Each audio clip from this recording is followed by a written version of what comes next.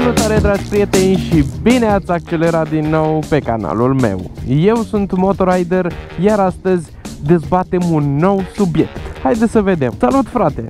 La mine în județ a murit un motociclist. Am și eu o întrebare, mai merită să mai dau de motor? Pentru că mi-e frică să nu mor am primit o groază de întrebări de, de genul ăsta și aș vrea puțin să dezbat astăzi, atât cât avem timp și cât putem, subiectul ăsta cu frica de motocicletă. Din ce se naște această frică, de ce ne este frică de motocicletă și care sunt motivele pentru care ne este greu să mergem unora dintre noi.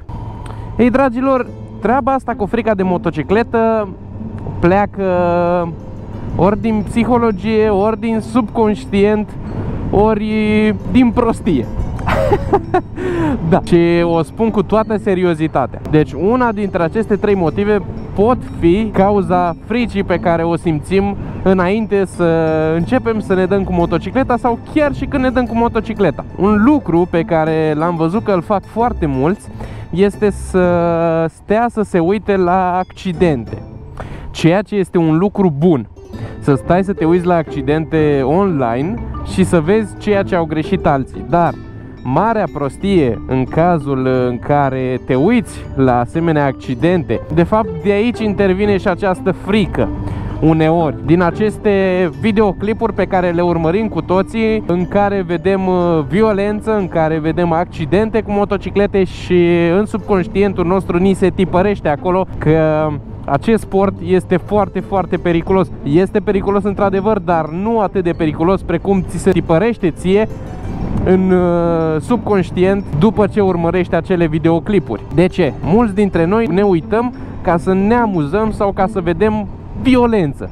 Pentru că foarte mulți dintre noi asta căutăm. Căutăm violență, căutăm bătăi și căutăm tot felul de lucruri care să destindă. Acum, da, corect, asta e. Mulți se destind cu violență și trebuie să înțelegem și pe ei.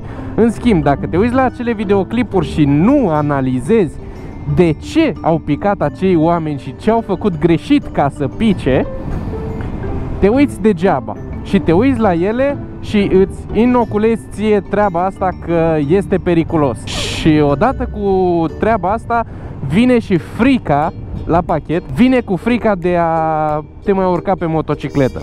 Pentru că uitându-te la acele videoclipuri, tu nu știi de fapt ce se întâmplă. Ce s-a întâmplat acolo de au căzut acei oameni sau nici măcar nu ne punem întrebarea de ce au picat ca să putem să învățăm și noi din, din ceea ce au făcut ei, ca să nu facem și noi la rândul nostru greșit. Deci, este un lucru bun să ne uităm la videoclipuri cu accidente dacă învățăm ceva din ele. Este un lucru bun să ne uităm la videoclipuri cu accidente dacă învățăm ceva din ele. Să ne uităm cu atenție și să le revedem, nu să le revedem pe toate așa în viteză, pur și simplu îți alegi niște cazuri, stai, te uiți la ele și uh, tragi niște concluzii în urma lor. Băi, ia să vedem, de ce a picat ăsta? I-a alunecat roata de spate. De ce i-a alunecat roata de spate?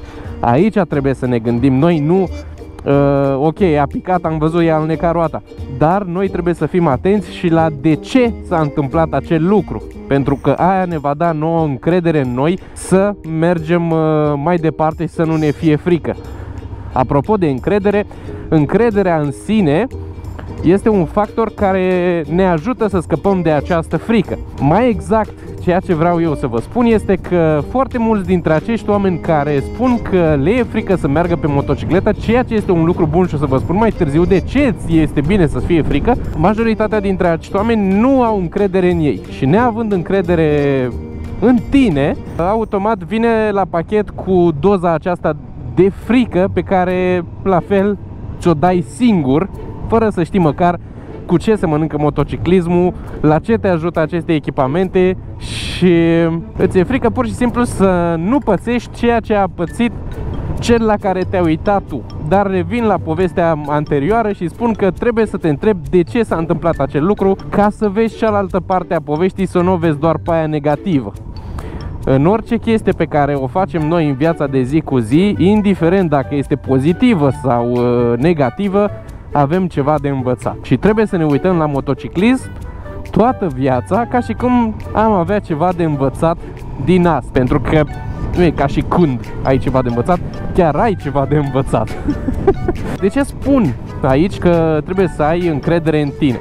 Pur și simplu, ăsta este adevărul mulți dintre noi nu avem încredere în noi și nu avem încredere automat și în motocicleta pe care ne dăm seama că da, noi o pilotăm, nu se pilotează singură.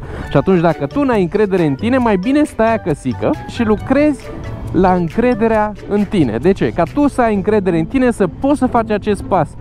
Este o mare diferență între a fi frică de motocicletă și a nu fi capabil să mergi pe o motocicletă. Este cu totul diferit. Iar treaba asta cu încrederea în tine ține de frică, nu de capabilitatea ta de a merge pe motocicletă. Cum v-am spus și mai devreme și am spus că o să vă povestesc puțin mai târziu despre uh, de ce este bine să-ți fie frică? Este un lucru bun să-ți fie frică de motociclete și să mergi cu motocicleta. De ce? În momentul în care ție ți este frică să mergi cu motocicleta, automat ai o gândire mult mai analitică faci analize ale situațiilor, vezi dacă să te bagi în depășire, vezi dacă să mergi mai tare și automat ai o capacitate de analiză mult mai mare.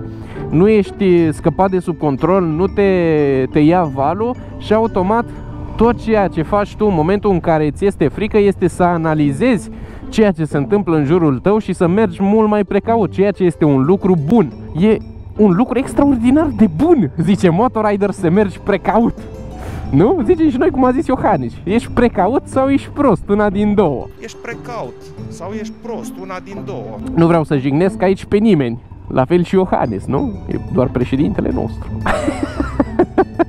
Cam așa stă treaba cu, cu frica și cu uh, frica asta de, de motociclet. Eu cred că este un argument bun ăsta. Să-ți fie frică înseamnă să fie bine.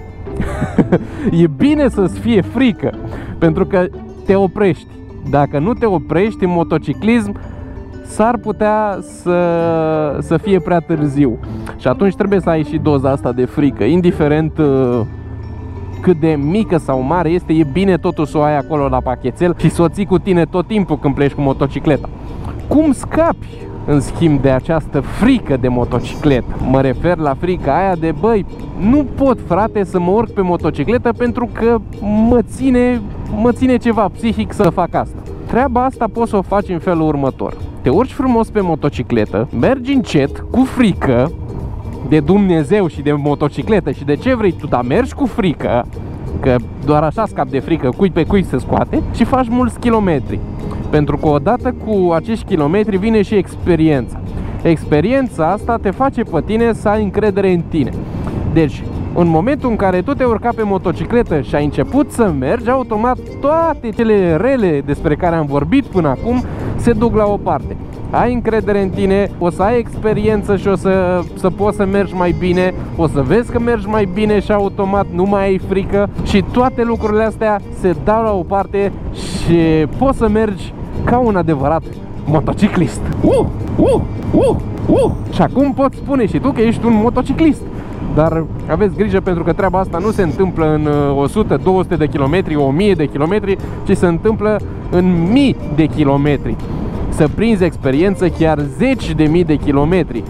Unii merg o viață și nu prind uh, experiența necesară de a merge în siguranță pe motocicletă pentru că nu o fac corect. Și atunci trebuie să urmărim să, să mergem corect pe motocicletă, nu tare, nu încet, ci trebuie să mergem corect. Sunt curios voi ce spuneți despre acest uh, subiect. Vă este frică de motociclete? Vă credeți capabil să mergeți pe, pe motocicletă? Lăsați-mi și mie acolo în comentarii, unul la mână pentru că mă ajută pe mine să văd și eu ce gândiți voi, comunitatea mea și doi la mână să creștem algoritmul ca să ne meargă bine și să ajungem și noi la foarte mulți abonați, mai mulți. Haideți să ajungem la 200 de mii acest sezon și uh, să ne bucurăm cu toții că acest canal uh, crește din ce în ce mai mult, din ce în ce mai repede. M-am blocat aici. Mă gândeam serios să facem pe viitor uh, ceva frumos legat de accidente. Pentru că am văzut că foarte mulți dintre voi sunteți dornici să vă uitați la accidente pe motociclete și atunci uh, Eu aș putea să încerc să vă arăt acele accidente și uh, să le comentăm împreună, să vedem ceea ce au greșit acei oameni în acele filmări. După cât știu eu din experiența mea prinsă până acum și pe stradă și la cursuri și, și chiar cu situațiile limite pe care le-am întâlnit și eu în motociclism și le-am salvat, n-am picat uh, și uh, nu știu cui să mulțumesc pentru asta. Am înțeles, domnului. Am înțeles, doamne, doamne, gata. Mulțumesc. Să le comentăm împreună și să vedem ce putem să învățăm din asta. Ce concluzii putem să tragem și câte lucruri bune putem să învățăm din aceste videoclipuri la care noi ne uităm doar așa că na, avem chef să ne uităm la ele fără să tragem o concluzie și ceva bun din asta. Am mai auzit și varianta aia că băi, nu îmi iau motocicletă pentru că mi este frică și pe stradă sunt tot felul de dobitoci. Păi da, bineînțeles, ai dreptate, așa este. Pe stradă sunt tot felul de dobitoci. Du-te tu într-o țară unde nu sunt tot felul de dobitoci. Peste tot îi găsești. Peste tot. Nu există undeva să nu dai de ei. Chiar de câteva ori în viață suntem și noi dobitoci. și atunci eu cred că ăsta nu este un motiv să te ascunzi și să fugi de motociclism doar pentru că în România sunt idioți. Ok, sunt idioți, dar tu poți să intuiești treaba asta, tu poți să să-l vezi pe cel din fața ta că băi nu merge bine, frânează degeaba, schimbă direcția iurea, nu semnalizează și atunci creierul tău să se uite la ăla și să înțeleagă că băi, ăsta e un pericol pentru mine, hai să merg mai preventiv. Și în prevenție mă refer aici și la 1-2 km în plus pentru că acei 1 sau 2 km în plus poate să te afecteze foarte mult la o distanță de frânare și să te afecteze ca să faci un accident. Eu Asta spun, că nu este un motiv să nu ieși pe stradă cu motocicleta doar pentru că pe stradă dai de tot felul de oameni, ca să nu le mai spunem uh, dobitoci, idioți și de-astea că nu sunt cuvinte ok. Ce mai întâmplă să greșești în trafic, asta este, totul pleacă de la prevenție. Dacă tu ești preventiv, automat nu prea ai ce să pățești. Decât dacă vine unul și intră în tine, intenționat. Dar uh, dacă vine unul și intră în tine, eu pot spune că, băi, tot tu ești vinovat. De ce? Pentru că puteai să anticipezi acea fază. Orice se întâmplă în motociclism și faci un accident, moral ar trebui să te gândești că tu ești de vină, pentru că puteai să ocolești acel accident. Și asta cred eu că este o gândire sănătoasă, o gândire bună pe care trebuie să o respectăm cu toții ca să putem să ne dăm pe motocicletă și să învățăm fără să prindem frică chiar și atunci când uh, picăm. Este o gândire sănătoasă, zic eu, care ne ajută să mergem mai departe, să ne ridicăm dacă am picat și să stăm în continuare pe două picioare și pe două roți.